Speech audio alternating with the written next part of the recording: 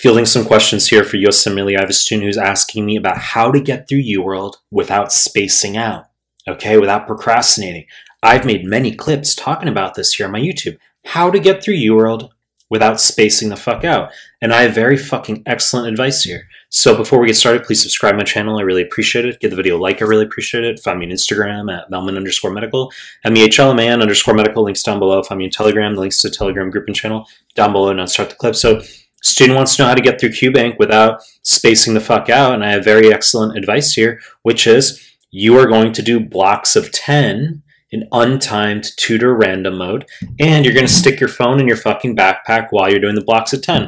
I'll elaborate. So, timed versus tutor, subject specific versus random, lengthy discussion. I've made plenty of clips talking about that here in the YouTube, but rather than doing a monotonous block of 40, you're going to do, you're just going to chop out efficient blocks of 10.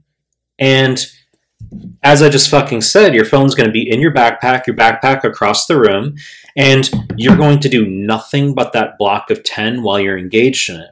Okay, so let's say you're four questions into the block, and then in 2022, you go to reflexively grab your phone. You're like, oh, fuck, it's in my backpack. Well, you want to check your messages. Okay, it's just what we want to do nope, you can't do that because you got to finish this block at 10 first. So you're actually incentivized to be more efficient and just get through the block. Okay? It doesn't mean don't read, but you're going to just go through the 10 questions. You're going to be very efficient. And then at the end of the 10 question block, yes, I want you to go grab your phone, check your messages, have a quick bite, a drink, okay? Watch a YouTube clip or two. I want you to take an eight minute break.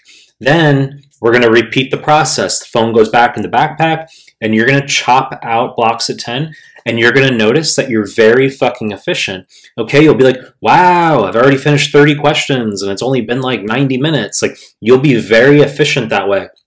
And I'm not just romanticizing this process as some sort of contrived procedure, it's because I actually created it myself a decade ago when I was going through UWorld for 2CK because it was so fucking boring. I couldn't get through the QBank. So I just started doing blocks of 10 and that helped me get through 80 questions in a day. And so that's how I know that that's an effective strategy for students if they're ADHDing the fuck out.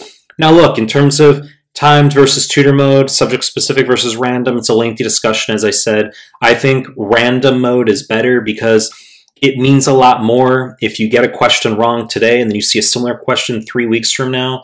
It'll create some shock value where you're like, fuck, I should have known that. Versus if you're doing all of the cardio questions, let's say over a three day period, subject specific, you're going to have that info transiently in your short term memory and you're not actually going to know whether you're reinforcing it truly. Okay. So random mode allows for macro retention, macro retention.